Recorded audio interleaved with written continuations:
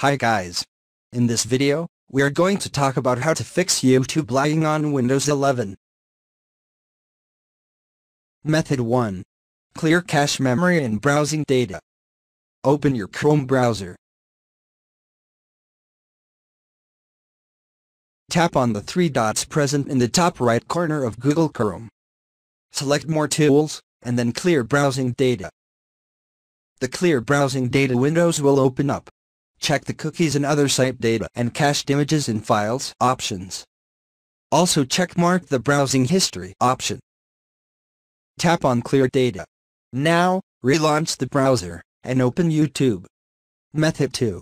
Uninstall faulty extension. Click on the three dots present at the top right corner of Google Chrome. Tap on More Tools and then Extensions. Tap on the Remove option present under the name of the reaction you want to uninstall. Again, tap on Remove in the confirmation dialog box that pops up. Now relaunch YouTube on Google Chrome, and check if the problem continues. Method 3. Download the latest version of the browser. Click on the three dots present in the top right corner of Google Chrome.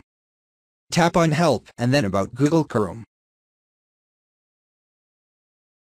Google Chrome will automatically check for any available updates. If there is an available update, download it immediately to fix the YouTube issue. Method 4. Lower the video resolution. Open the video that you want to watch on YouTube. Click on the gear icon present at the bottom of the video. Tap on Quality. Now, choose the quality at which you want the video to play. Once done, check if the problem persists. Method 5. Update graphics driver. Tap on the search icon present on the taskbar. In the search bar, type Device Manager and press Enter. Double tap on the display adapters. Right-click on the installed graphics. Tap on Update Driver. Click on Search automatically for drivers. Now, the system will update the driver automatically if there is an available update.